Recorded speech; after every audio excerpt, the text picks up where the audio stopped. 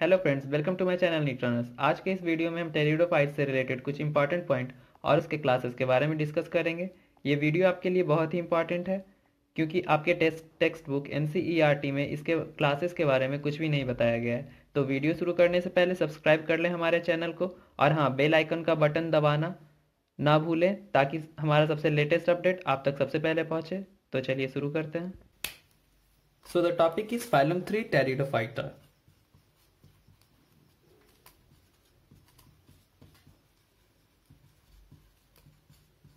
pteridophytes okay इसका basic characteristics देखते हैं तो ये जो सब ये पहला है जिसमें वेस्क्यूलर सिस्टम पाया गया तो first land vascular plant that is they have xylem and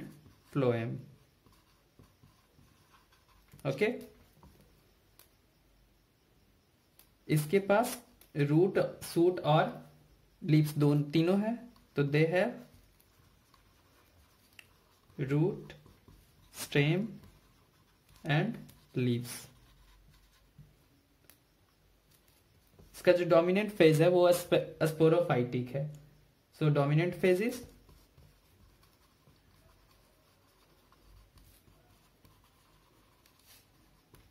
sporophytic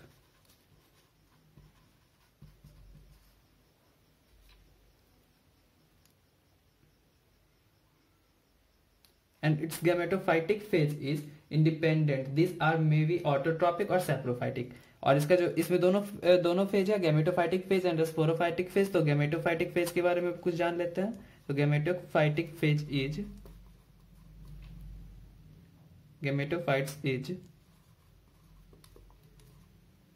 independent these are autotropic autotrophic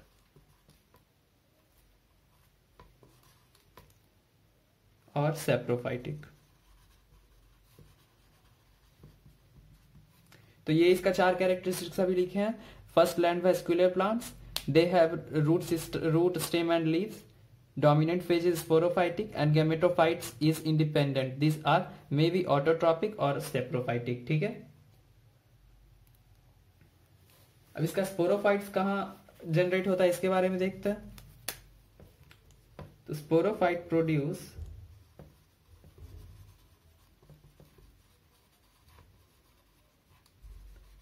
sporangia in the axial of leaf sporangia in the axil of leaf and these leaves are known as and these leaves are known as sporophyll याद है जहाँ पे जहाँ पे gamete पाया जा रहा था वहाँ माइक्रो छोटे छोटे लिप्स को माइक्रोफिल्स कह रहे थे और यहाँ जहाँ स्पोरोफाइट्स प्रोड्यूस होगा उसको हम लोग स्पोरोफिल कहेंगे अब एक्सिल क्या है तो एक्सिल के बारे में देखते हैं axil is the section where the branch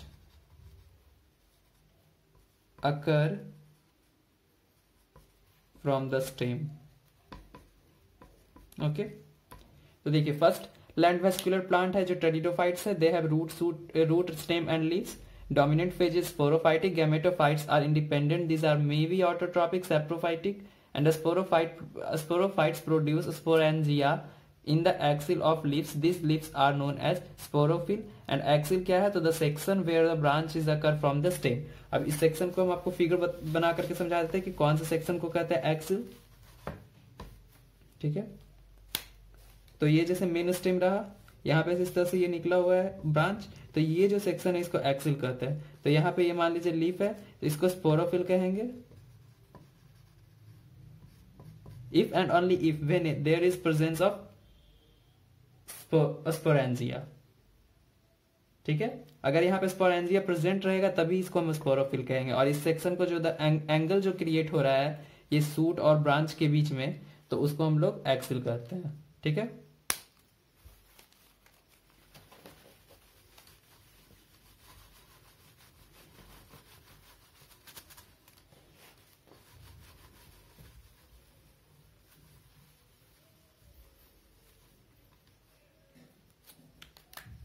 अब देखिए इसको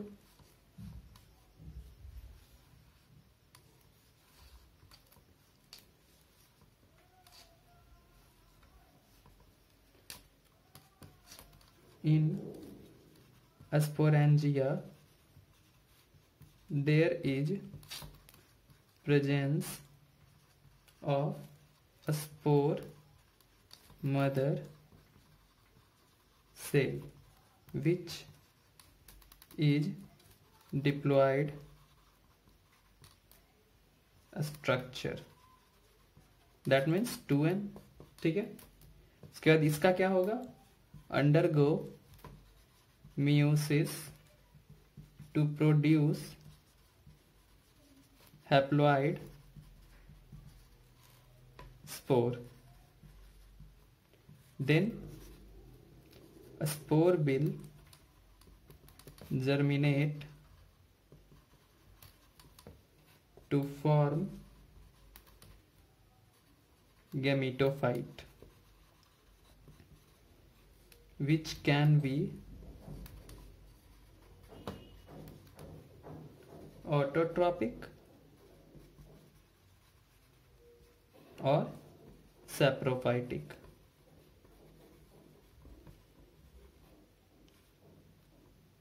that is it is free living free living ठीक है तो यहाँ पे जो एक्सिल है वहां पे स्पोरेंजिया है स्पोरेंजिया में क्या चीज है स्पोर मदर सेल है जो कि डिप्लॉयड स्ट्रक्चर है उसमें मियोसिस होता है मियोसिस के दौरान वो हिप्लॉयड स्ट्रक्चर बनता है और फिर स्पोर जो होता है डायरेक्टली जर्मिनेट करके गैमेटोफाइट बना देता है which can be autotrophic saprophytic जो कि ऑटोट्रॉपिक भी हो सकता है सेप्रोफाइटिक भी हो सकता है तो कॉमनली हम इसको फ्री लिविंग कर सकते हैं ठीक है तो स्पोरेंजिया का क्या काम हुआ स्पोरेंजिया कहां पर जेंस है लीफ के लीफ लीफ और ब्रांच के बीच का सेक्शन जिसको एक्सिल कहते हैं और स्पोरेंजिया के अंदर क्या है स्पोर मदर सेल है जो कि म्यूसिस कर करके हेप्लॉइड स्पोर बनाएगा और स्पोर जर्मिनेट करके गेमेटोफाइट्स का फॉर्मेशन करेगा ठीक है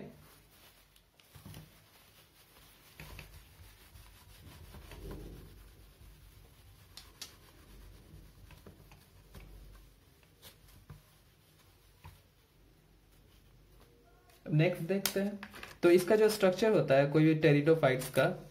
वो कुछ इस तरह से होता है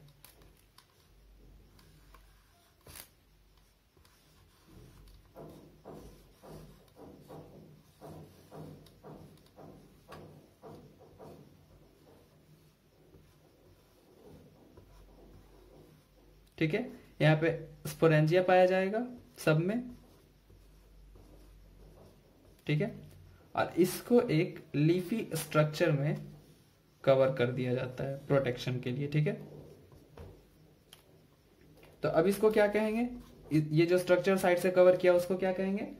स्ट्रॉबिलस स्ट्रोविलिश ठीक है इसी को कोन भी कहते हैं कोन ओके तो इसके बारे में देख लेते हैं in some cases like Silanzinella equisetum equisetum Silanzinella equisetum ठीक है they compact this stem and leaves sporangia in a sporangia in a lax structure और कॉम्पैक्ट स्ट्रक्चर भी कह सकते हैं लैक्स स्ट्रक्चर और compact structure compact structure known as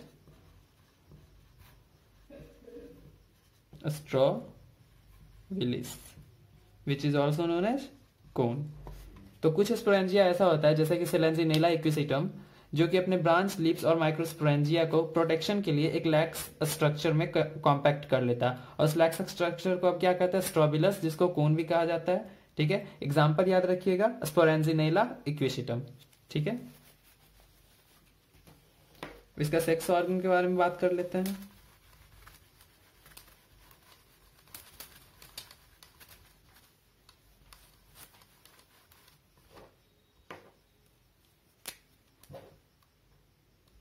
तो sex organ are are produced on fight okay इसका sex organ किस चीज पे पाया जाएगा फाइट से पाया जाएगा अब ये कहां कहां अकर होगा ये देखते हैं एक्चुअली ये कुछ कुछ रीजन में रेस्ट्रिक्टेड वहां आकर नहीं हो सकता तो distribution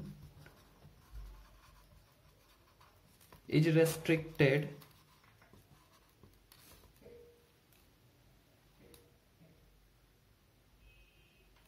restricted in a few geographical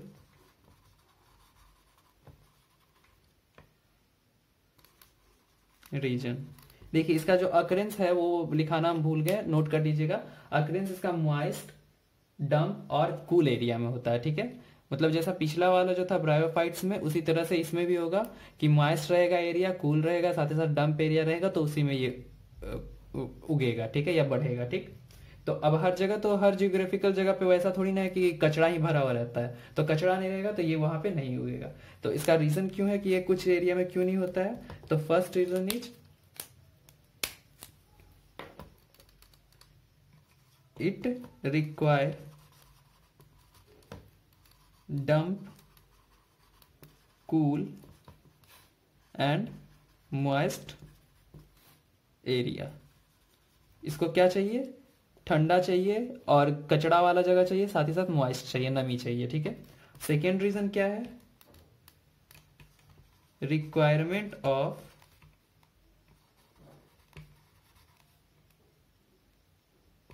H two O for transport of male gamete to female ठीक है तो इसको रिप्रोडक्शन के लिए क्या मेल गैमेट को ट्रांसपोर्ट करने के लिए इसको जब भी तो वाटर का रिक्वायरमेंट है तो हर जगह थोड़ी ना पानी है कि हर जगह ये हर जियोग्राफिकल एरिया में हो जाएगा तो इस कारण यही दो रीजन है जिसके कारण ये इसका डिस्ट्रीब्यूशन रिस्ट्रिक्टेड है कुछ एरिया में ठीक इसके गैमेट्स के बारे में देखते हैं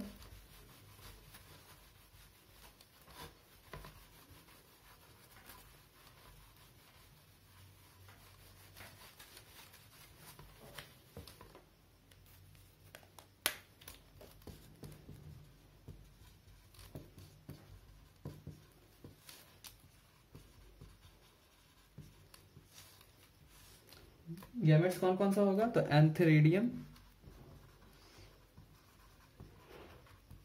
and archegonium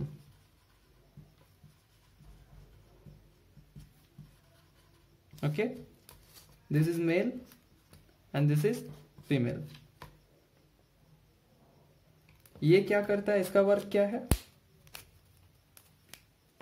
produce male gamete that is antherozoid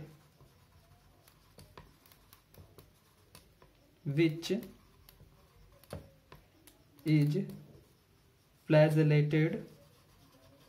अब इसको वाटर में तैर करके आगे बढ़ना है तो उसके लिए फ्लैजला तो चाहिए स्ट्रक्चर और इसका क्या काम है कंटेन एक्स कंटेन एक्स और क्या करता है ये प्रोड्यूस करता है produces K plus ion and malic acid तो अब ये किस लिए प्रोड्यूस करेगा तो देखिए मेल मेल और फीमेल में हमेशा अट्रैक्शन होता है ठीक है तो प्लांट में भी कुछ ये सब सिस्टम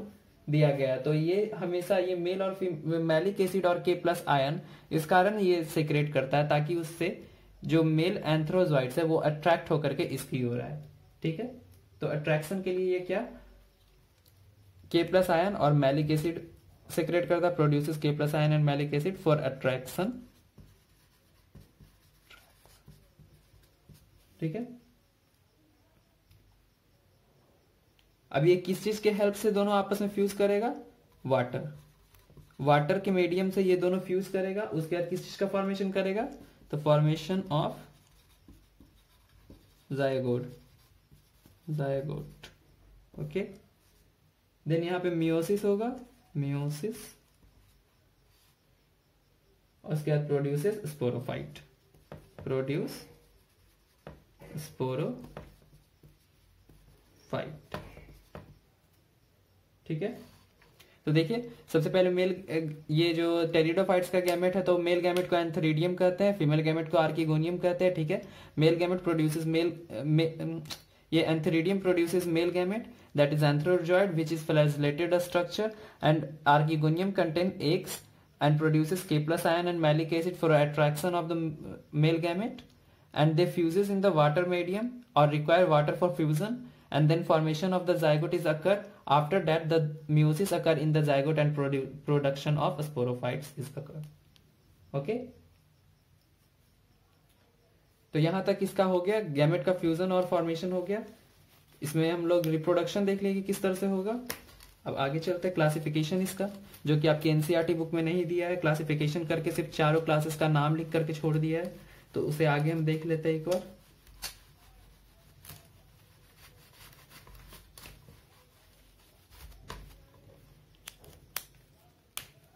क्लासिफिकेशन ऑफ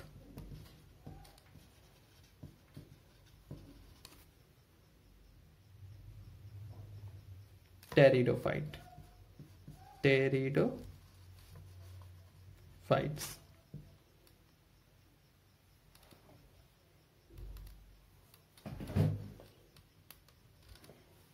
टेरिडोफाइट ठीक है तो इसको कितने क्लासेस में डिवाइड किया गया है चार क्लासेस में first psilopsida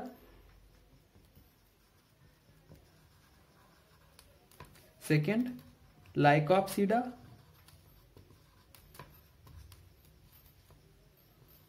third sphenopsida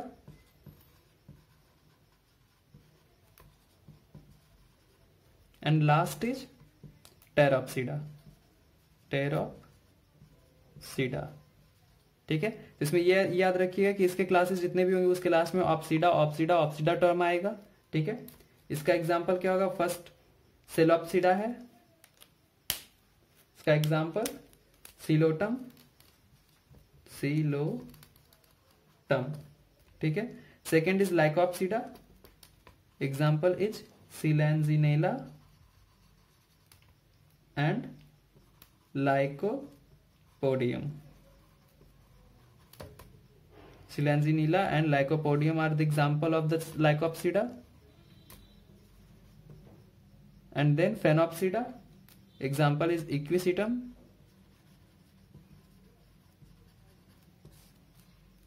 and last is Teropsida example is pteris dryopteris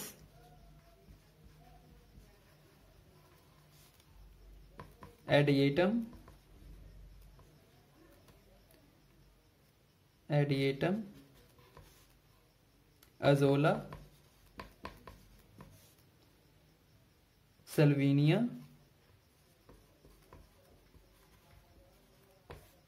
and Marsilea Marsilea तो ये सब जो एग्जाम्पल है और टेरोपसीडा का है this are the example of Pteropsida Pteropsida Psilopsida का एग्जाम्पल हो जाएगा सिलोटम लाइको लाइकोपसीडा का एग्जाम्पल हो जाएगा सिलेंजिनेला एंड लाइकोपोडियम और फेनोपसीडा का एग्जाम्पल हो जाएगा इक्विसिटम लेकिन टेरोपसीडा का Pteris Pteris Adiantum Azolla Salvinia and Marsilea ठीक है अब सबको एक एक करके देखते हैं चारों क्लासेस को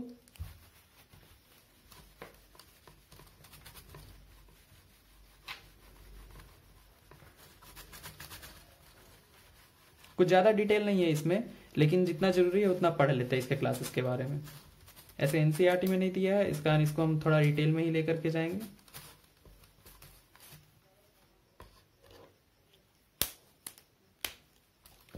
phylum number three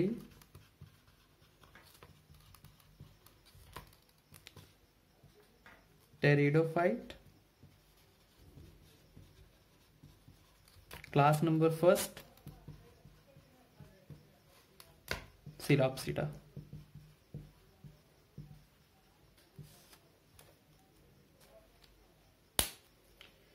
तो देखिए इसका एग्जाम्पल क्या था हम लोग जैसे शुरू में देखे हैं सिलोटम टर्म ओके तो इसमें जो मेन कैरेक्टरिस्टिक इसका है वो है three sporangia fuses with one and another to form single sporangia and this is known as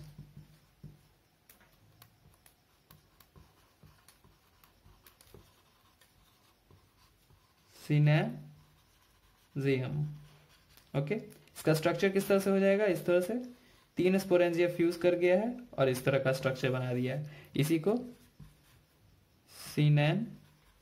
जीएम कहते हैं ठीक है इस स्ट्रक्चर को सिनेंजियम कहते हैं इस स्ट्रक्चर को हम सिनेंजियम कहते हैं ठीक बस इतना ही फर्स्ट क्लास में बस इतना ही जानना है जो मेन उसका बात है वो यही है कि सिलोपसीडा में क्या होता है इसका तीन स्पोरेंजिया आपस में फ्यूज हो जाता है और एक सिंगल सिंगल स्पोरेंजिया का फॉर्मेशन करता है जिसको सिनेंजियम करते हैं ठीक है next class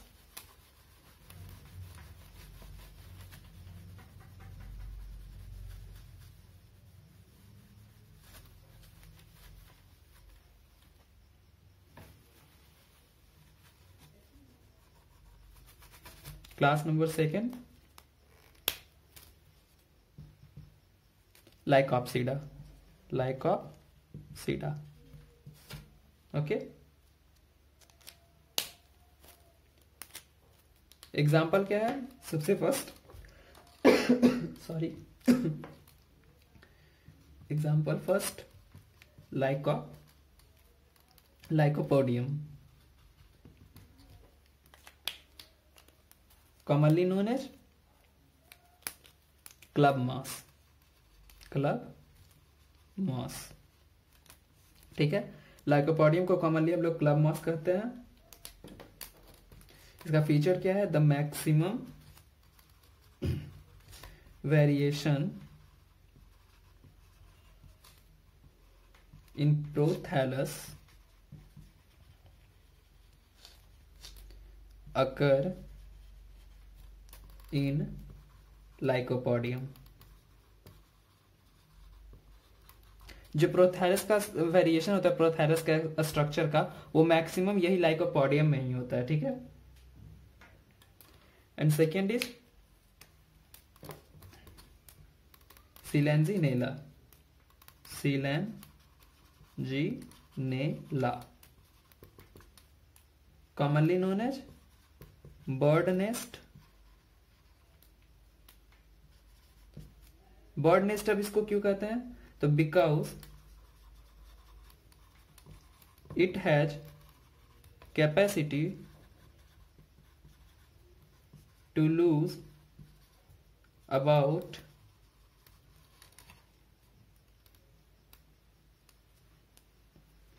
ninety to ninety five percent of water from their body तो ये अपने इसके पास कैपेसिटी है कि अपने शरीर का 90 से 95 परसेंट वाटर को ये लूज कर सकता है आराम से अगर वो नहीं भी रहे तो ये जिंदा रहेगा and form coil like structure तो अब इसको बर्ड नेस्ट क्यों कहें क्योंकि क्वाइल देखिए इस तरह से घुमा हुआ रहेगा ठीक है और ये वर्ड का नेस्ट की तरह लग रहा है कि नहीं अगर ये इस तरह से ये सेलेंजी नीला अगर घूम करके इस तरह से पड़ा हुआ है कोई वर्ड आएगा यहाँ पे छोटा छोटा छोटा छोटा घास का टुकड़ा डालेगा और इसको नेस्ट की तरह बना लेगा ठीक है तो ये सिलेंजी नीला है जो कि अपना वाटर को लूज करके कॉयल का स्ट्रक्चर ले लिया है ठीक है और दूसरा इसका नाम है रिसर्जन रिसरेक्शन प्लांट ठीक है second name is resurrection plant resurrection plant why we call it because again alive when it take water ठीक है तो देखिए लाइक ऑफ लाइकोप लाइकोपसीडा में जो फर्स्ट एग्जांपल था लाइकोपोडियम जिसको हम लोग कॉमनली क्लब मॉस कर रहे थे तो इसमें क्या था कि मैक्सिमम प्रोथैलस में वेरिएशन प्रोथैलस का स्ट्रक्चर में मैक्सिमम वेरिएशन था जो कि लाइकोपोडियम में था और सिलेजिनेला तो इसको इसका दूसरा नाम क्या है बर्ड नेस्ट क्यों इसको बर्ड नेस्ट कहते हैं because it has capacity to lose ninety to 95 percent water from their body and form a coil like structure इसका इसको हम लोग बर्ड नेस्ट कहते हैं second name is resurrection plant because again alive when it take water ये जब इस तरह से जो कॉयल स्ट्रक्चर है अगर इस पर पानी पड़ गया हमारे बारिश हो गया तो ये फिर से अपना जो फॉर्मेशन इसका बॉडी का रहता है जनरल वो कर लेगा और उस तरह से वो दोबारा जिंदा हो जाएगा ठीक है इस कारण इसको हम लोग रिसरेक्शन प्लांट भी करते हैं अब एक और पॉइंट क्या है इसके लिए नोट पॉइंट सिलंजी नेला के लिए स्पेशल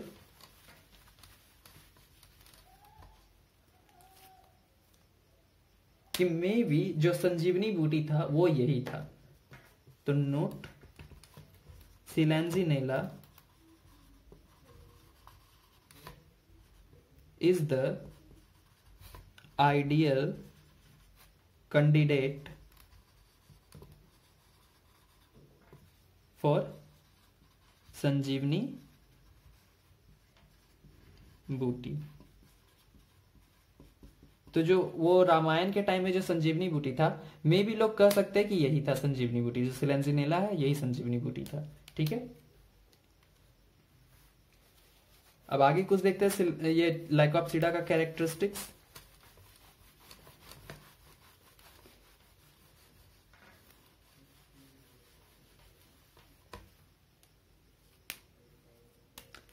तो जो जनरल कैरेक्टरिस्टिक्स होगा तो it contain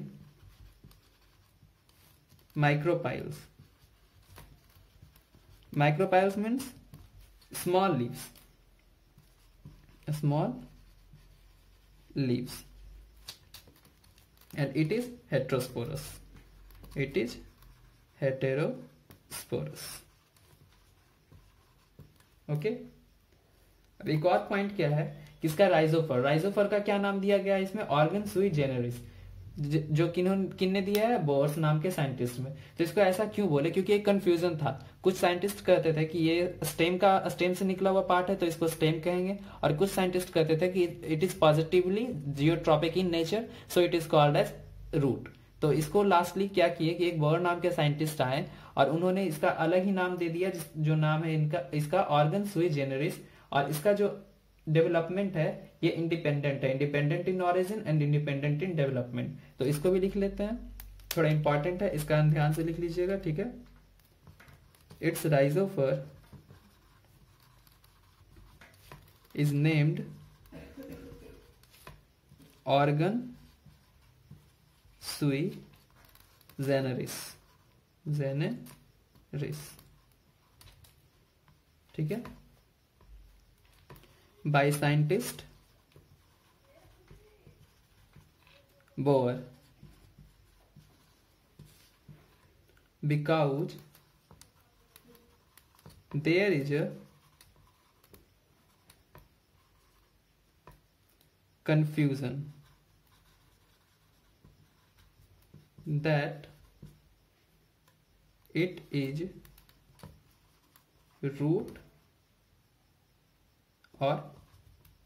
stem someone say some people say that this is a part of stem so it is stem and other people say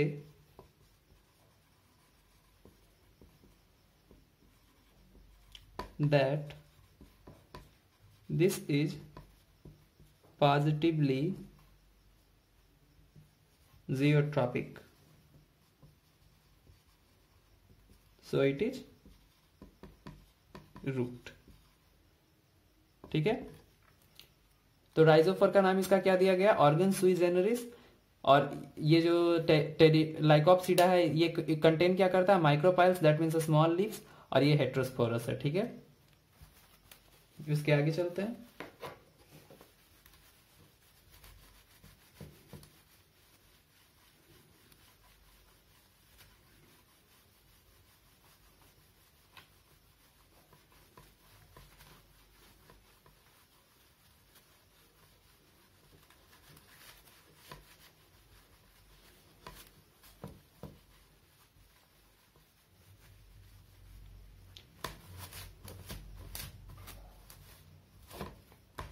class number three phylum number three pteridophyte class number three Sphenopsida Sphenopsida example is equisetum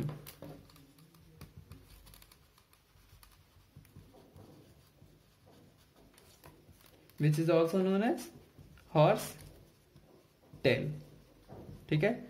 इसी को hostel भी कहते हैं ये इक्विटम को इसका general characteristics देख लेते हैं तो इट्स बॉडी और stem is divided divided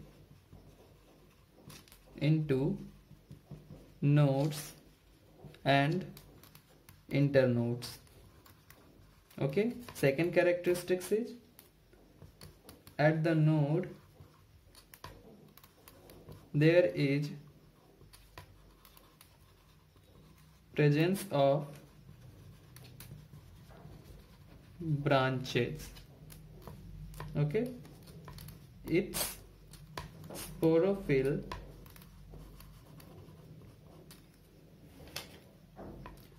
organized itself to form a compact or lacks a structure known as strobulus, strobulus or cone. ठीक है इसमें भी स्ट्रॉबेरस और कौन कौन पाया जाएगा और लास्ट बहुत इंपॉर्टेंट है it also known as gold indicator अब बात है कि इसको गोल्ड इंडिकेटर क्यों कहते हैं तो because it accumulate gold in their body ठीक है तो इसको गोल्ड इंडिकेटर जो गोल्ड माइनर्स रहते हैं उनके लिए बहुत ही इंपॉर्टेंट है क्योंकि वो क्या करते हैं कि जहां पे भी ये प्लांट रहता है ये हॉस्टेल तो वो उस जगह पे अगर उनको माइनिंग करना है तो उससे पहले वो उसको निकाल लेता है हॉस्टेल को और उसके बाद उसको ड्राई जला करके उसको फिर प्योरीफाई करते हैं और उसमें देखते हैं कि कितना परसेंटेज गोल्ड का निकला अगर वो एक लिमिटेड अमाउंट में सही रहता है तब जाकर के वहां पे वो माइनिंग करते हैं नहीं तो नहीं करते हैं ठीक है ऐसा थोड़ी ना है कि गोल्ड एकदम रॉक की तरह इतना गोल्ड यहाँ पे पड़ा हुआ है इतना वहां पे पड़ा हुआ है ऐसा नहीं रहता वो धूल की तरह रहता है तो वो इसके शरीर में भी एक्यूमुलेट होगा तो इसको जलाने के बाद इसके जो राख रहेगा ऐश रहेगा उसमें भी पाया जाएगा तो उसको क्या करते हैं कि प्योरीफाई करके देखते हैं कि कितना है उस उस हिसाब से वहां पे वो माइनिंग करते हैं ठीक है इसका फिगर देख लेते हैं इक्विशियम का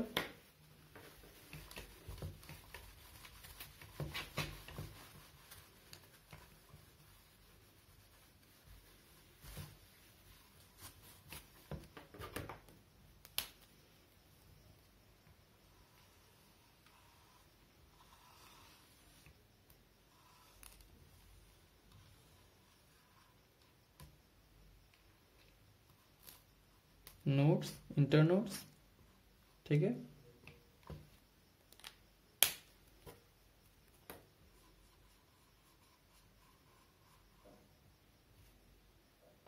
ये स्पोरोफिल है जो ऑर्गेनाइज करके कोन और स्ट्रेबलस बना लिया स्ट्रोबुलस बना लिया है और ये इसका राइजोम्स है ठीक है और इसका नोट्स पे क्या ब्रांचेस निकला हुआ रहेगा तो यो ये रहा ठीक है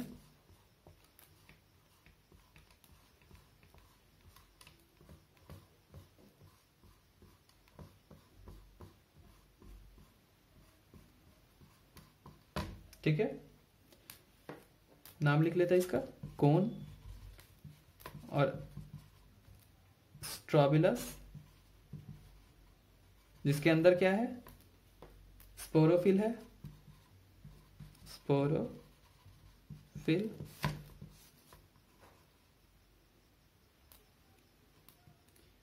ये क्या हो जाएगा ब्रांचेज ये क्या हो जाएगा इंटरनोड ये हो जाएगा नोड और इसको हम लोग राइजोम्स कहते हैं ठीक है तो क्लास थ्री यहीं पे खत्म होता है next is class four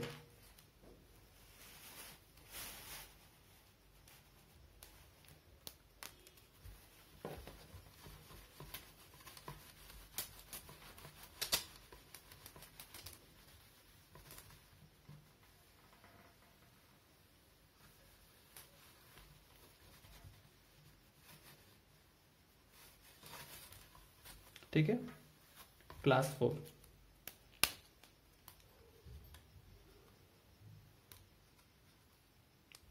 phylum number three Pteridophyta class four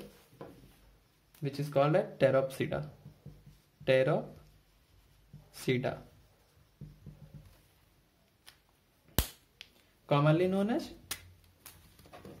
fund commonly known as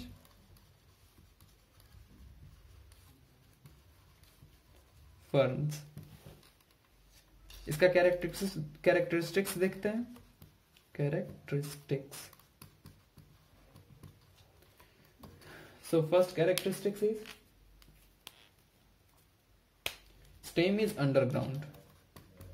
stem is underground except tree fun like Cyathea ठीक है जो स्टेम इसका होगा वो अंडरग्राउंड होगा लेकिन एक ऐसा ट्री एक ऐसा फर्न है जो ट्री फर्न है जिस जिसका एग्जांपल साइथी है उसमें ये स्टेम अंडरग्राउंड नहीं होता है second characteristic is leaf is large in size that is known as macrophyll और फ्राउंड तो इसका लीफ जो होगा वो बड़ा साइज का होता है जिसको हम लोग मैक्रोफिल भी कहते हैं साथ साथ फ्राउंड भी कहते हैं and third characteristic this young leaf is circinately coiled अब इसको समझिएगा कि सर्सिनेटली क्वाइल्ड किसको कहते हैं ठीक है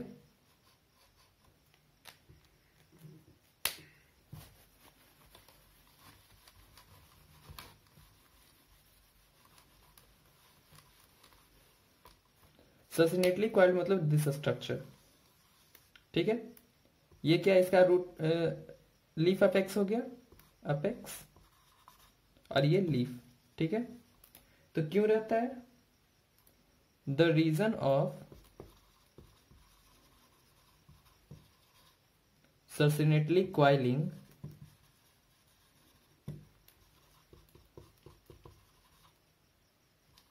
is for the protection of growing apex growing apex जैसे ये सर्चनेटली कॉइल का स्ट्रक्चर जो है उससे क्या होगा कि रूट जो ये लीव का जो अपेक्स होगा वो पूरी तरह पूरी पूरी तरह से प्रोटेक्टेड रहेगा उसके खुद के बॉडी से इस कारण उसका ग्रो आराम से होगा ठीक है and the fourth characteristic is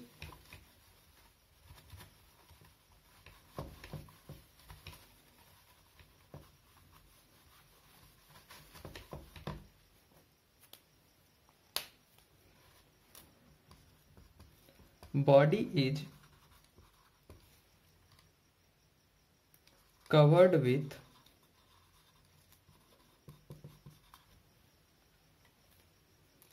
stiff brown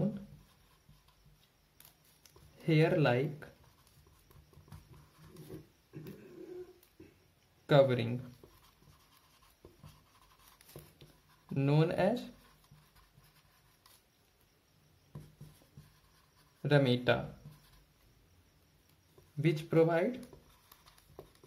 protection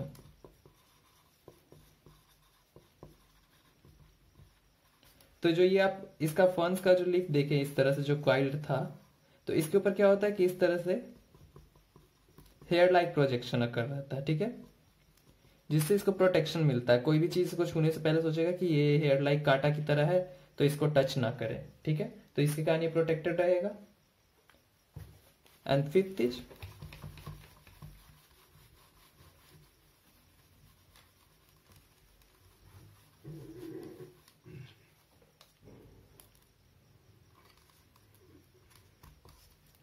a sporangia is protected by flap like a structure known as indusium indusium तो क्या होता है इसका स्पोरेंजिया जो रहता है वो एक फ्लैप लाइक स्ट्रक्चर से कवर्ड रहता है जिसको हम लोग इंडुइशियम कहते हैं अब इंडुइशियम भी यहाँ पे दो तरह का होता है ठीक है first indusium if the indusium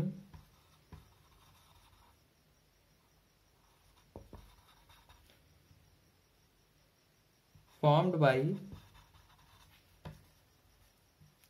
sorus membrane sorus membrane then it is true indusium indusium for example किस में होगा टेरिस में ठीक है जो इंडोएशियम सोरस मेम्ब्रेन से बना हुआ रहेगा उसको हम लोग ट्रू इंडोएशियम कहेंगे पाया किसमें जाता है टेरिस में और दूसरा जो है if it is formed by sporophyll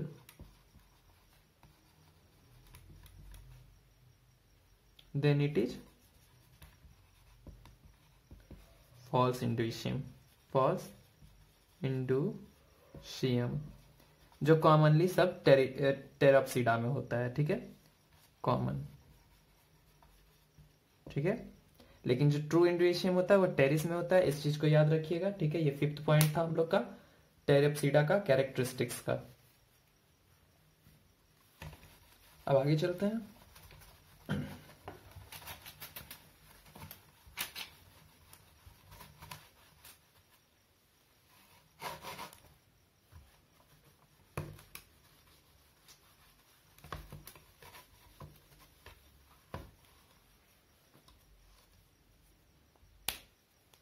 एक नोट है ठीक है नोट लिख लीजिए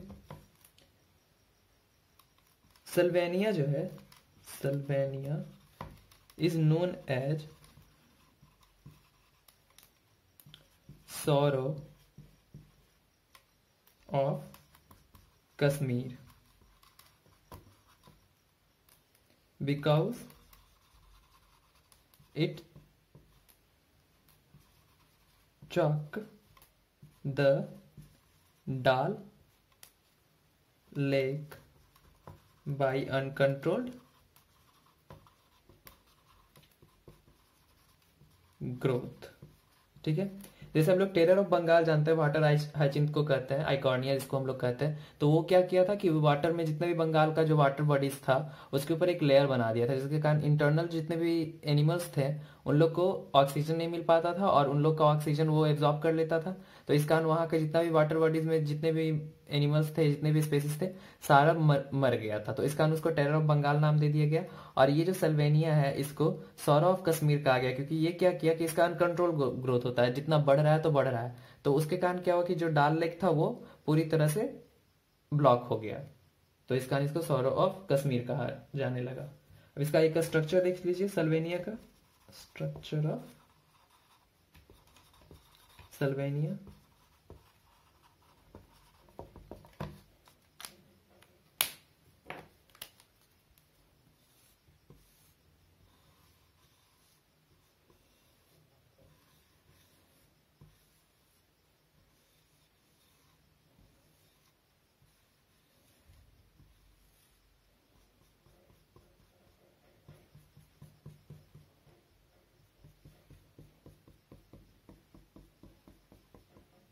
ठीक है और यहाँ पे से राइजो फोर्स निकलेंगे ठीक है तो यही है सेल्वेनिया ठीक अब नेक्स्ट देखते हैं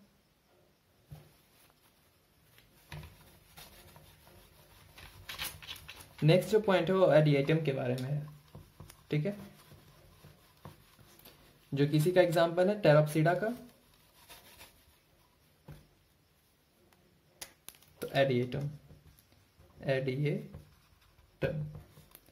commonly known as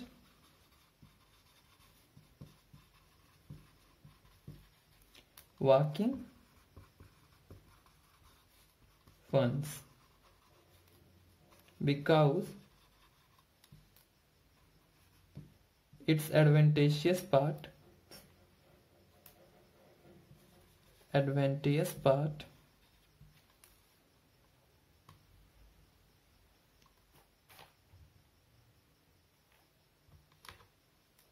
like leaf when touch the ground at that point a new plant originated ठीक है देखिए वर्किंग फंड्स इसको इस कारण कहा गया क्योंकि जैसे एक जगह इसका ये पौधा लगा ठीक है उसका जो लीफ निकला तो लीफ के ऊपर भी स्पोर्स होता है ठीक है वो जहाँ बर्ड्स होता है वो जहाँ भी टच किया ग्राउंड में वहां पे से फिर दूसरा प्लांट निकल गया फिर उसका जो लीफ निकला वो फिर उसका लीफ जहां जहां टच किया वहां वहां से नया प्लांट निकलते गया इसका फिगर देख लीजिए एक बार तो ये रहा वॉकिंग फंस ठीक है ये देखिए ये मेन प्लांट है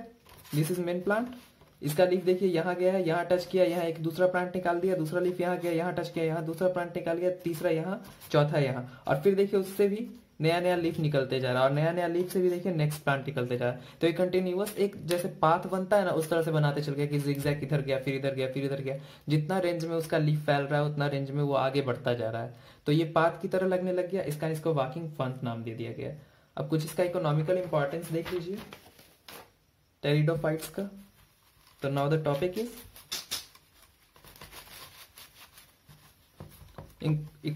economic importance of pteridophyte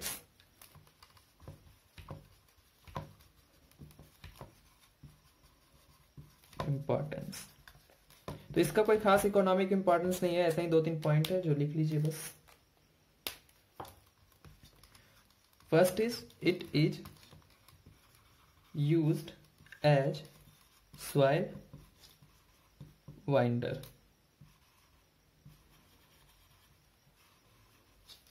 ठीक है इसको सॉइल वाइंडर की तरह यूज किया जाता है जो कि सॉइल इरोजन से कोई भी जगह पे सॉइल इरोजन से बचाता है सॉइल को ठीक है उसके बाद it is use as ornamentals सजावट में इसका यूज किया जाता है ठीक है and it is use in use as medical values कुछ दवाइयां भी इससे बनाई जाती है बस इतना ही हुआ तो देखिए और अगर टेरिडोफाइटा के बारे में और भी कुछ एक्स्ट्रा देखना है तो एक बार एनसीईआरटी बुक e जरूर पढ़ ले ठीक है उसमें टेरिडोफाइटा के बारे में और एक्सप्लेन एक्सप्लेनेशन में आपको मिल जाएगा लेकिन उसकी क्लासेस के लिए बस इसमें जितना वीडियोस में है उतना ही जरूरत आपको है एक बार दोबारा आप वीडियो देख लें काफ़ी होगा आपके लिए सो थैंक यू इस वीडियो को हम यहीं पर ख़त्म कर रहे हैं इसके आगे का टॉपिक को हम नेक्स्ट वीडियो में डिस्कस करेंगे आई होप आप सभी को आज का टॉपिक समझ आया हो इस वीडियो से रिलेटेड अगर कोई भी क्वेश्चन आपको है तो प्लीज़ उसे कमेंट बॉक्स में दे दीजिए और जाने से पहले वीडियो को लाइक शेयर कर दें और हाँ सब्सक्राइब करना ना भूलें थैंक यू फॉर वॉचिंग